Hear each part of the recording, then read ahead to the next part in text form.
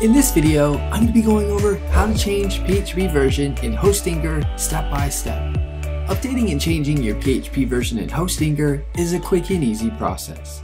By the end of this video, you will successfully have your PHP version updated and changed in Hostinger for your WordPress site.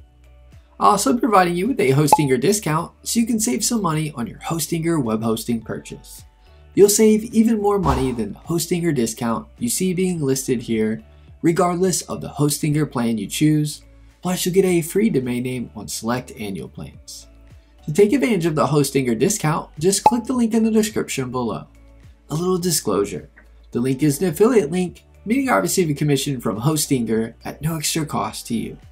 Plus, you'll get an awesome Hostinger discount. Let's get started with the Hostinger tutorial going over how to change PHP version in Hostinger.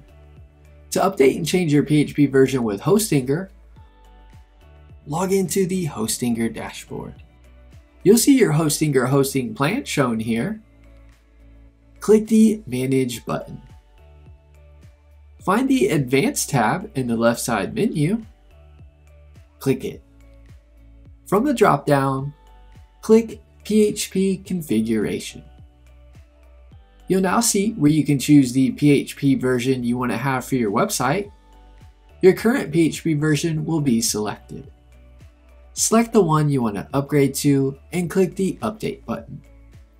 A pop-up will now ask you if you want to change the PHP version click the Confirm button to proceed.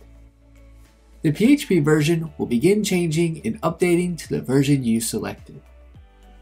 Once it is done, you'll see the new PHP version is now selected.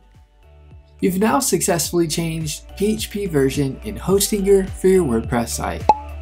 Give this video a thumbs up and leave us a comment letting us know if the tutorial was helpful or not, as the comments help improve our tutorials. Be sure to subscribe to our channel for more Hostinger web hosting tutorial videos.